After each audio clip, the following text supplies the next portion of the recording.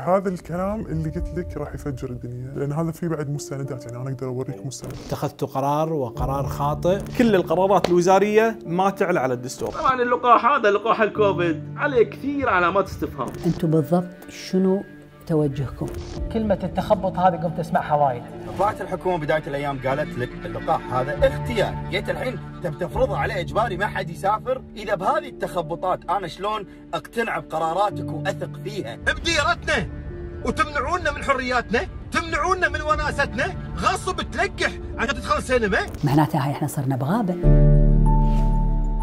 جدل واسع ولويا صارت في مواقع التواصل الاجتماعي تحت هاشتاج نرفض التطعيم الإجباري وفجأة صارت ترند رقم واحد بالكويت.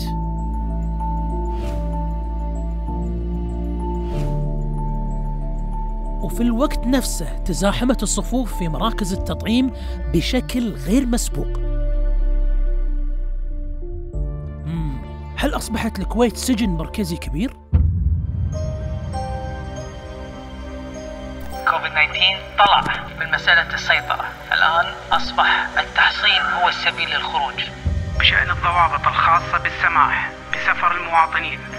قدمت تطعيما ما زال تحت التجربة في مرحلته الأولى. مو أنا منظمة الصحة العالمية. الجائحة ما راح تنتهي كوفيد 19 معانا إلى يوم القيامة. معانا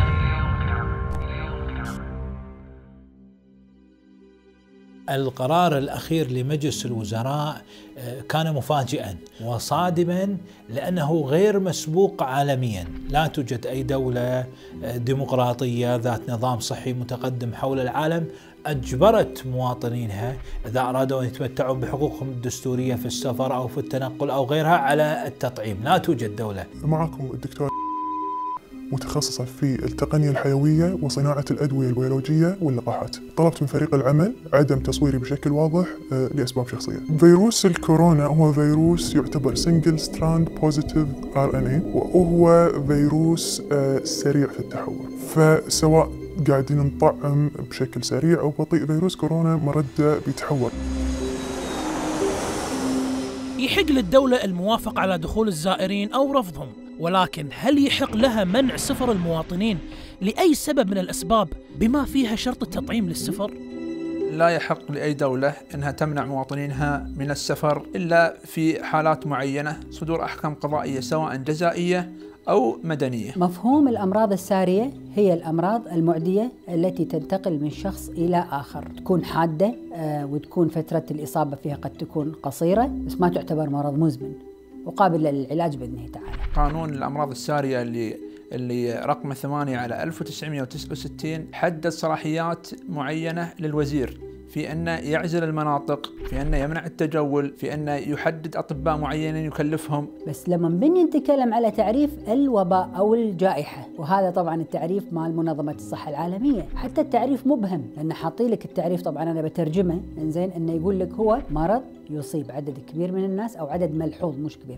عدد ملحوظ من الناس significant number of people وينتشر على مناطق جغرافية واسعة. يعني أنت مثلا المرض الساري ممكن يكون بس موجود عندك في الدولة هذه. بس الجائحة تنتقل يعني تكون واسعة الانتشار وتكون تصيب عدد ملحوظ من الناس وحتى يقول لك إنها تعبر الحدود. قانون الأمراض السارية سنه 69 يخول المسؤولين في وزارة الصحة لأن حتى بما معناه طبعا للدخول إلى المنزل ان يعني للتطهير أو للتلقيح أو ما أعرف حق شنو بالضبط بس انه معناتها هاي إحنا صرنا بغابة. يعني هذه وايد عليها تساؤلات قابلة أنها تثار وقابلة أن يتم الطعن فيها لأن من حقي أنت قاعد تتعدى على خصوصيتي وقاعد تتحدى تتعدى على حرمة بيتي وقاعد تتعدى على حرمة جسدي. هني لازم الكل يطق بريك. لازم الكل يطق بريك ويتحرص ألف مرة قبل لا يعيش الدور بهذا القانون. أحيط المجلس علما بقرار وزير الصحة بشأن الضوابط الخاصة بالسماح بسفر المواطنين وكلف وزارة الداخلية والجهات ذات الصلة بتنفيذ هذا القرار. السفر والتجمعات الخاصة بالمنازل تسببا في ازدياد أعداد المصابين. ما دفع وزارة الداخلية بالإعلان عن بدء تطبيق العقوبة ما بين حبس لمدة ستة أشهر أو الغرامة المالية بعشرة آلاف دينار للحد من التجمعات العامة والخاصة. لم يحدد المشرع أنه يمنع سفر المواطنين. بعدين القانون هذا صدر في يعني سنة 1969 في وباء معين وفي ظروف معينة. طبعا اختلفت عن الوضع الحالي. حتى لو آه، كوفيد دخل فيه الأمراض السارية ما يخول له شخصيا إنه يتخذ مثل هذا القرار اللي هو يمنعني من السفر، كل القرارات الوزارية ما تعلى على الدستور. يمكن يطلع واحد ويقول يبا الناس إيش عرفهم شو اللي يفيدهم شو اللي يضرهم. الحكومة أبخص. بس لحظة. صدق الحكومة أبخص؟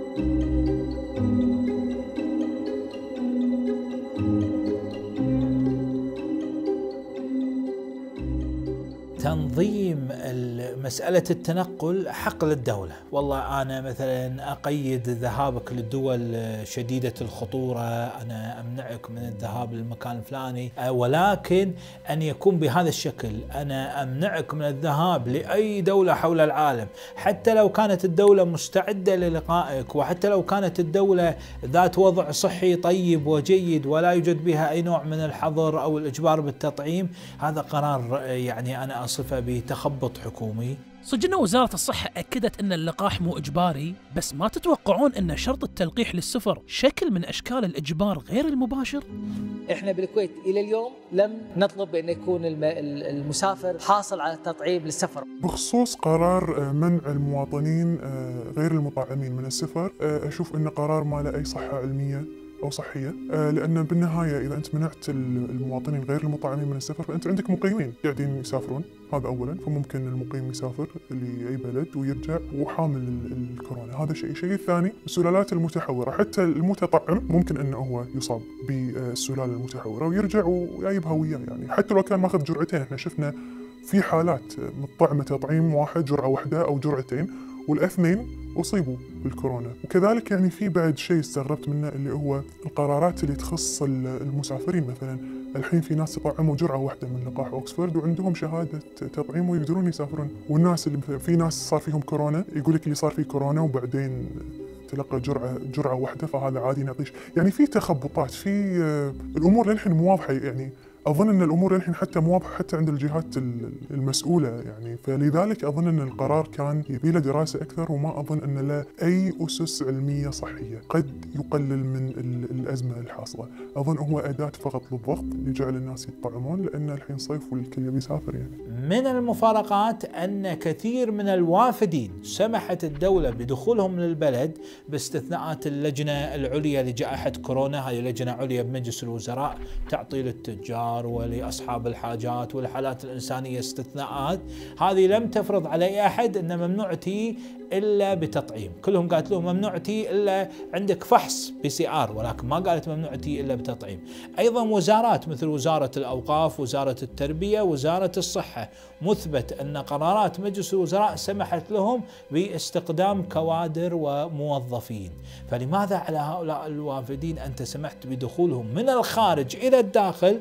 يعني هذه أكبر مخاطرة صحية وطبية دون اشتراط التطعيم بينما مواطنك اللي يبي هج يعني بيطلع إلى الخارج ومطلوب منه فحص قبل وفحص بعد وحجر عندما يأتي بعد السفر. تقول له لا لابد أن تطعم.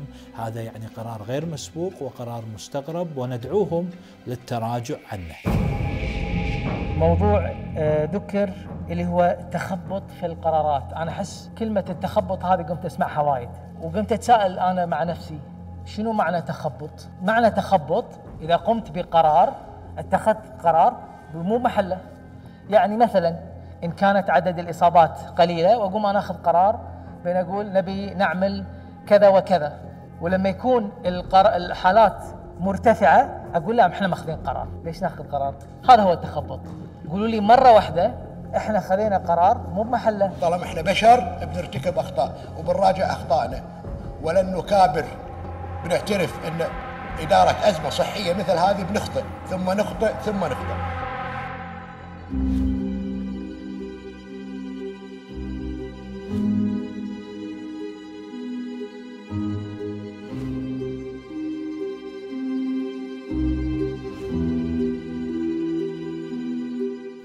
مما زاد استغرابنا بأن الحكومة ذاتها اللي قاعد تقول يجب عليك أن تطعم وممنوع عليك تسافر إلا بتطعيم هي ذاتها الحكومة العاجزة عن توفير الجرعة الثانية لمن تلقوا تطعيمهم.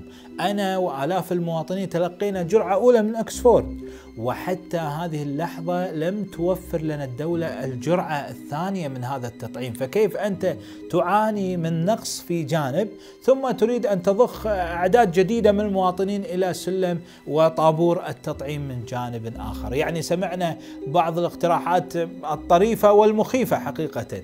وهي وكما يقولون شر البلية ما يضحك بأن الآن هناك نية لخلط اللقاحات. يعني أنت أعطيناك أكسفورد ما لقيناك جرعة ثانية. أكسفورد ما يخالف قزر يعني حالك مشي أمورك في جرعة ثانية من نوع ثاني، هذه تزيد القلق والمخاوف لدى الناس. يتساءلون أيضا عن شغلة مثلا يقول لك يعني يقولوا لي أنت مثلا أنت مع اللقاح ضد اللقاح تبين الحكومة تجيب اللقاح يعني كسؤال عادي. اللقاح بما انه هو يعتبر أحد وسائل الوقاية من كوفيد ألحين هو من الأفضل أن الحكومة تجيبه بس لا يشترط أنها تفرضه علي طبعا هم قاعد يقول لك إن إحنا مو حاطينه إجباري بس أنت بعد شوي وتخلي النفس علي محسوب وراح تربطه باللقاح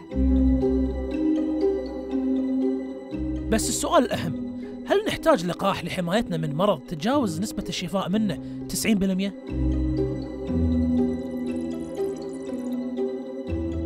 يعني العاقل إذا فكر بهذا الأمر راح يشوف الجواب. الجواب موضح وموضحته يعني منظمة السي دي سي Centers for Disease Control and Prevention منظمة السيطرة على الأوبئة والأمراض الانتقالية. يعني قالت لهم نسبة الوفيات اللي من نسبة من صفر إلى 19 سنة لأعمارهم من صفر إلى 19 سنة يعني مرض به نسبة شفاء أكثر من 99% هل تحتاج لقاح؟ يعني بالعقل واصلا المرض مرض الكوفيد ليس مصنف ضمن أخطر عشر أمراض بالعالم. ما موجود تصنيفه. فأنت يعني من إيش خايف؟ المرض ليس خطير. هالشيء يثير فينا مخاوف من إنه يوصل القرار جوانب ثانية من حياتنا مثل إنه يكون التطعيم شرط للدراسة. ويمكن باكر يقولون لك ما تداوم إلا لما تأخذ تطعيم. لا ويمكن يكون شرط لصرف الراتب بعد. أنت مو مطعم؟ أنت مو محصن نفسك؟ ليش خايف مني؟ بعد خلوا الدولة باسم الملقحين. تبي تسوون تفرقة بالشعب تبي تسوون مشاكل بينه وبين بعض؟ ما حد يدخل السينما بس المطعمين يعني أنا مو مطعمه أنا مو مطعم. أنطرها برا. هل راح نشهد عصر من الدكتاتورية العلمية؟ أو بحجة إنكم ما تعرفون مصلحتكم؟ إحنا نحميكم ونرعاكم هناك دكتاتورية علمية حاصلة. يتم استخدام أدلة علمية. قد تكون هذه الأدلة العلمية قوية لكن يتم استخدامها بشكل خاطئ لترويج أو لإصدار قرارات عشوائية. وهذا اللي قاعدين نشوفه بأغلب دول العالم. ترى في كثير من كثير أنا أعرفهم شخصيا وفي كثير ما أعرفهم شخصيا. خايفين يطلعون للإعلام خايفين يطلعون رؤوسهم وخايفين ينفصلون من دواماتهم. كثير ناس أعرفهم يداومون في وزارة الصحة ودهم يطلعون في لقاءات ودهم يطلعون في ندوات ودهم يطلعون في ال social media ودهم يبينون آرائهم مثلا الطبية وأبحاثهم ودراساتهم. ولكن خايفين. أسولف لي طبيب بالصحة. صديق. يقول لي إحنا مجموعة من الدكاترة معارضين للتطعيم. فينا خير نقول إن إحنا معارضين. راح يتهمونا بالجهل. راح نقول راح يقولون لنا إن إحنا ما نفهم. راح يهمش راينا. فيقول نسكت. ما نتكلم كلش نهائيا. وهناك اختلاف كبير في الغرب. إحنا نظل دول العالم الثالث. وش معنات دول العالم الثالث؟ يعني معناته إن أي شيء تقوله منظمة الصحة العالمية إحنا بنسويه. قالت زين إحنا بنقول زين. قالت مو زين إحنا بنقول مو زين. الحين قالت زين بنقول زين. بعد شهر قالت مو زين. إحنا بنرد نقول مو زين. فإحنا نظل ناس تبع لمنظمة الصحة العالمية. بعض الأنشطة مو إحنا اللي نرتبها. مو أنا ولا ولا الأطباء رتبوها. منظمة الصحة العالمية وانقالت في البرزنتيشن. الغريب إن في دولة الكويت في الوزارة عند وزارة الصحة انتقائية في القرارات. بمعنى لما وزارة منظمة الصحة العالمية قالت انه ما يصير ربط التطعيم بالسفر. الكويت شلبت. قالت لا إلا التطعيم مع السفر. أنتم بالضبط شنو توجهكم؟ نبي نعرف هل أنتم تبون تأخذون تعليمات منظمة الصحة كاملة؟ هل أنتم عندكم استقلالية في القرار؟ ولا أنتم متدودهين؟ قرار. منع السفر اللي أصدره رئيس الوزراء. طبعا قرار غير دستوري ويفتقد للمهنية لأن في مخالفة للدستور والقوانين الدستورية اللي هي مادة 29 و30 و31 اللي نظمت هذا الأمر حتى لو وزير الصحة أو رئيس الوزراء أصدر قرار في منع السفر. المفروض هذا القرار يجب إحالته أصلا إلى مجلس الأمة للتصويت عليه للنظر مدى دستوريته ومدى عدم دستوريته. بس الحين حاليا الوضع أنت شايف يعني آه، ما في مجلس أمة ومجلس أمة مختطف نهائيا. حتى ما نقدر نوصل صوتنا حق أي جهة. التطعيم مطلوب لتحقيق المناعة المجتمعية مثل ما تقول بعض الأوساط الطبية. لكن حتى السلطات الأمريكية ما تقدر تفرض اللقاح على شعبها رغم أن أمريكا متضررة من كورونا أكثر من الكويت. لسبب واحد هو أن اللقاح أخذ الإذن للاستخدام الطارئ فقط. Emergency Authorization. الاستخدام الطارئ هو هم بعد شيء مدرج في البروتوكولات اللي تستند عليها الشركات الدوائية، يحق لهم كشركات دوائية استنادا على هذه البروتوكولات وال guidelines انه هم ينزلون آه، دواء أو لقاح بشكل مستعجل في حالة ال epidemic أو ال pandemic، فهذا ال rules اللي هذه ال rules اللي مشت عليها شركات الدواء والغذاء. الاستخدام الطارئ آه، يعطي الحق لهذه الشركات بتقليص آه، ال timeline المطلوب منها بإعداد الدراسات، فبدال ما تاخذ راحتها يعني مثلا سنة سنتين 15 سنة، لا يصير في اوفرلاب على الدراسات بشكل مستعجل فعلشان تخلص بسرعة وقبل لا تاخذ التصريح النهائي لنزول السوق وقبل لا تكمل الدراسات تطرح الدواء هذا لأن عندنا إحنا حالة طوارئ. وقاعد يصير في ما نقول نوع من الإجبار العلني لكن إجبار بطرق أخرى. فما بالك إذا الشركات الدوائية هذه طلعت من بند الطوارئ وأخذت التصريح الكامل؟ في ناس راح تقول لك خلاص يعني هي كملت الدراسات كلها. أنت قبل كنت خايف لأن أنت كنت تقول لي انه هو لا زال تحت بند الطوارئ. لكن اليوم هم قالوا لنا كملوا دراساتهم فأنت ليش خايف؟ إحنا ما نقول إن اللقاحات المطروحة غير آمنة. هي صدق إنها تخطت معايير السلامة والفعالية لكن عشان تثبت فعاليتها وتكون فعاليتها أعلى من أضرارها الجانبية راح تبقى تحت إذن الاستخدام للطوارئ فقط. الموضوع مو موضوع بين طوارئ أو غيره الموضوع ان حرية الاختيار المفروض تكون موجودة عند الجميع. في ناس راح تقول لك لا بس حرية اختيارك تقف عند آه، الموضوع إذا كان يضرني أنا أو يضر المجتمع. ما أظن أن الموضوع هذا صحيح. الناس اللي تطعموا على حسب كلام الشركات الدوائية أنه خلاص هو محصن كلامهم هذا عدل. فإذا أنت محصن من آه، أنك يعني تتطور عندك الأعراض الجانبية اللي قد تدخلك إلى العناية المركزة أو تؤدي إلى الوفاة فأنت ليش خايف من انتقال الكورونا لك من غير المطعم ليش خايف من غير المطعم إذا أنت محصن؟ ولن ينتهي الوباء إلا بوجود لقاح أو وجود علاج آه، للسيطرة عليه. 11% تقريبا من المواطنين الذين يستطيعون الحصول على اللقاح. جميع الأطفال لا يستطيعون أخذ اللقاح في الفترة الحالية. فمعناته الفيروس راح يكون موجود ويتكاثر وينتقل من طفل لطفل وقد يعدي أبوه يعدي أمه يعدي جده. طبعا اللقاح هذا لقاح الكوفيد عليه كثير علامات استفهام وليست الأغراض والأهداف هي أهداف طبية. عندهم أكو أهداف سياسية أكو أهداف تجارية. سياسيا وتجاريا يعني سياسيا الإغلاقات هي أدت إلى انهيار اقتصادية. دول انهارت فسياسات دول يعني تحطمت بسبب الجائحة. ليست هناك أي دولة في العالم إلى تاريخ اليوم أثبتت أن آه، ما في حالات عندها أو نجحت في التغلب على الكورونا بسبب التطعيم.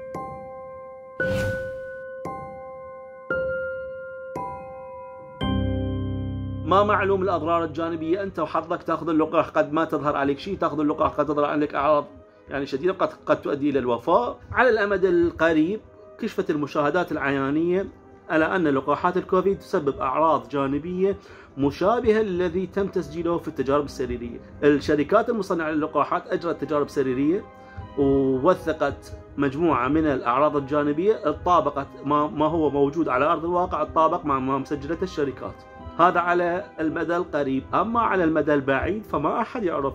Nobody knows. لا أحد يعلم. إذا ما الذي سيجري؟ هنا أنا أطلقت وصف يكون قاسي قد يكون قاسي ولكن هو هذا الحقيقة. أسميتهم فئران تجارب. فئران تجارب هم المتطوعين اللي راح ياخذون اللقاح. راح تتم دراسة التأثير على المدى البعيد وتوثيق كل الملاحظات وكل المشاهدات عليهم. آسف لهذا الاصطلاح ولكن ولكن هذا الاصطلاح حتى استخدمه أوروبيين وأمريكان وحتى إنجليز.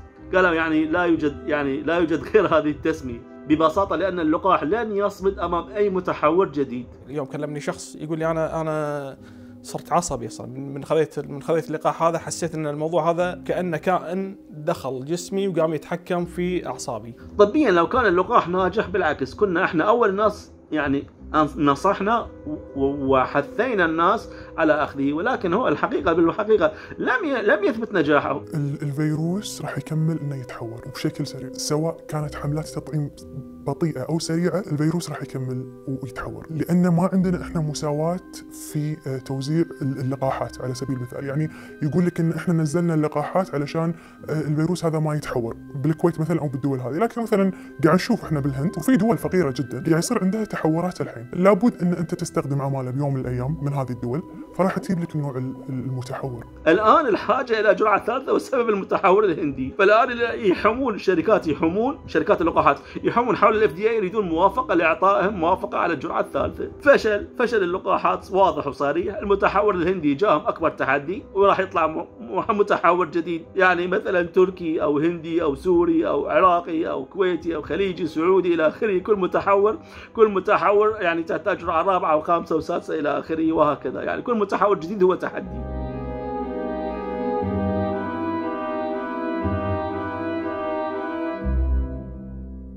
حاليا تم الطعن على القرار في المحكمة الإدارية في تحديد جلسة بشهر ستة طبعا. أي مواطن صدر هذا القرار ورأى أن هذا القرار مجحفا بحقوقه وحرمانا لحريته ما عليه إلا أنه يتوجه للمحكمة ويرفع دعوى قضائية بإلغاء القرار الإداري في المحكمة الإدارية ويأخذ موعد جلسة وبإذن الله أنه راح يلتغي القرار وحق التقاضي مكفول للجميع. هذا قرار يعني أنا أصفه بتخبط حكومي ويعني أدعو لعدم المكابرة فيه. أنتم اتخذتوا قرار وقرار خاطئ يجب أن تراجعون أنفسكم قانونيا تقريبا أغلب القانونيين قالوا غير دستوري وغير قانوني وأنا أيضا قانوني. الموضوع ما هو ما هو حكر على على المحاكم الكويتية. حتى لو مثلا السلطة القضائية قالت قرارها مثلا بالرفض أو اللي يكون يعني في عندنا وسائل وايد ثانية نقدر ناخذها. في عندنا يعني منظمة حقوق الإنسان في عندنا المحاكم الدولية في عندنا آه، محكمة لاهاي اللي في في آه، هولندا. يعني يقدرون ينصفونا في هذا الموضوع. أحاول بكل ما أوتيت من قوة أن أستخدم أدواتي. يعني أنا استعنت بالرأي العام وحاولت تنوير المواطنين وأيضا رسالتكم الإعلامية مقدرة وتساهم. أيضا تقدمت باقتراح بقانون بتعديل قانون الأوبئة والذي أعتبره قانون رجعي يعني متخلف يليق بالستينات ربما ولكن لا يليق بالألفية آه، الجديدة. في الاقتراحات بقوانين سلاح. أيضا وجهت أسئلة برلمانية وجهت سؤال للأخ رئيس الوزراء عن هذه التناقضات كيف تمنع هنا المواطن وتسمح هنا وهناك وهناك ثلاث شرائح مختلفة من الوافدين بالقدوم دون تطعيم. ومع الأسف حكومتنا تصدر القرار وبعد ما تصدر القرار ترجع تفكر ترجع تسأل فيه. بعد ما تشوف السوشيال ميديا والمواطنين صار في ردة فعل على القرار اللي تم إصداره. أظن أن الإدارة الصحية بحاجة إلى ترك الانفراد وتوسيع دائرة اتخاذ القرار. نلمس من الأطباء ومن المهتمين من القطاعات الثانية الصيدلانية والدوائية والعلاج حتى النفسي وغيرها من العلاجات أن هنالك احتجاج على آه، احتكار القرار بأن هنالك تغييب للمعلومة واحتكار للقرار بدائرة ضيقة. وزارة الصحة بعض القائمين عليها عبالهم أنهم يملكون الناس لا أنت لا تملكني أنا جسدي مقدس. حطوا بالهوية الحين. حالة التطعيم. أنت إيش عليك مني أنا شنو حاط حالة التطعيم؟ هذا أنت بتراويني مثلا شو قاعد تراويني عضلاتك إن أنا أقدر أسيطر عليك؟ لا لأن الشعوب لها حد ترى لها حد.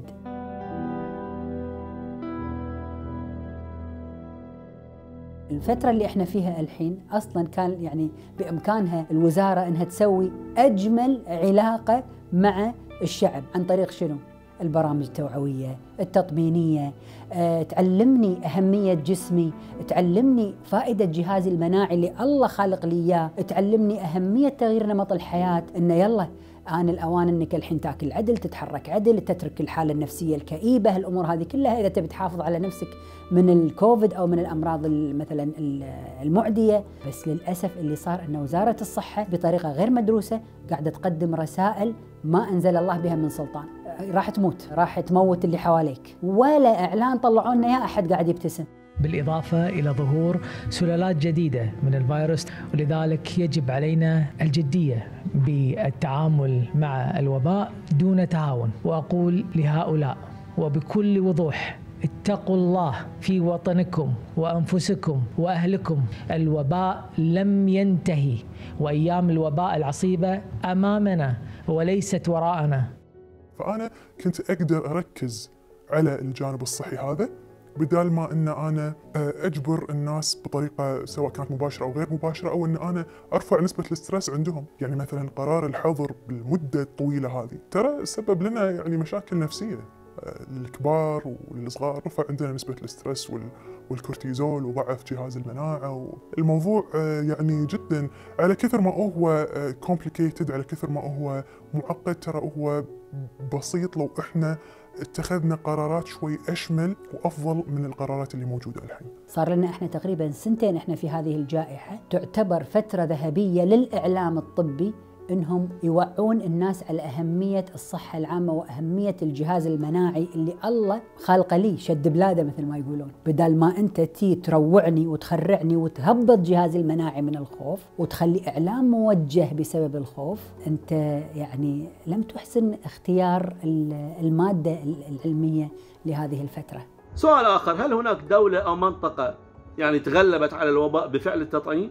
دائما بالجواب على هذا السؤال يتم الإشارة إلى بريطانيا والمتكلم خريج بريطانيا وعندي اخبارها فراح أجيب لكم خبر من بريطانيا قد يكون مفاجأة للجميع. بريطانيا دولة سباقة بالتطعيمات وتعلن أنها لم تسجل أي حالة وفاة قالوا أنها بسبب لقاحات الكوفيد بالحقيقة ليس هذا هو السبب. لماذا؟ لأن بريطانيا أعلنت صراحة وعلى لسان الناطق آه، كريس ويتي كريس ويتي صرح وقال قال سوف نتعامل مع آه، مرض الكوفيد على أنه seasonal flu انفلونزا موسمية. إضافة إلى أن أوروبا بأكملها لم تصل إلى نسبة تطعيم 20% أتكلم عن الجرعة الثانية. لم تصل 20% فكيف دولنا العربية تريد تلقح وتريد تلقح كل شعوبها وتعالوا لقحوا فما ترهم يعني حقيقة أشرت صحيفة نيويورك تايمز الأمريكية أن 5 ملايين أمريكي أخذوا الجرعة الأولى لم يأخذوا الجرعة الثانية. يعني they missed the second dose. فهربوا من الجرعة الثانية بالحقيقة. وأن مراكز التطعيم في أمريكا على وشك الإغلاق. هذا الكلام موثق وثقته صحيفة نيويورك تايمز الأمريكية. هذه دلالات واضحة على إيش؟ على فشل اللقاحات وعدم إقبال الناس عليها. إحنا شفنا ردة فعل الشارع الكويتي بخصوص موضوع قرار منع منع سفر المواطنين غير المطعمين. طبعا ممكن هو يعني يكون أداة لشراء الوقت وأداة للضغط لجعل أكبر عدد من الناس إنهم يلجؤون للتطعيم وصراحه شفنا شفنا الشيء هذا يعني في ناس وايد قبل القرار هذا ما كانوا يبون يطعمون لكن غيروا ارائهم فواضحه الصورة إن هذا هو المطلوب بالنهاية. اليوم صراع حريتي وقراري واستخدامي لحقوقي الأساسية. وإذا أنا قبلت لزميلي غير المطعم أن ينتقص حقه بالانتقال غدا أنا حقي بالانتقال. ولو كنت مطعما سيتم انتقاصه. لذلك أنا بالحقيقة عندما أدافع عن بقية المواطنين أنا أدافع عن حقوقي وحرياتي. يقول أحد المفكرين يقول أنا مستعد أن أموت من أجل رأيي لكني مستعد أيضا أن أموت من أجل أن يسمح لك بأن تقول تقول رأيك فأنا أقول يجب أن نكفل الرأي والرأي الآخر ولا نسمح أن تغدو الكويت لونا واحدا رأيا واحدا قرارا واحدا. اللي خلاني أطلع اليوم وأتكلم بالموضوع هذا هو إيماني بأخلاقيات المهنة. آه، هناك أمور آه، عديدة كان المفروض أن يتم عملها لم يتم عملها. بالإضافة إلى القرارات التعسفية اللي قاعدين نشوفها هالأيام وقاعدة تسبب نوع جديد من العنصرية إحنا بغينا عنها. بس لما أنت تي تحد من حريتي أو تربط السفر باللقاح لا أنت خلقت سجن كبير. قد يكون عن قصد وقد يكون عن غير قصد وقد يكون عن جهل. فإحنا خلقنا أحرار. ما تي أنت تقيدني.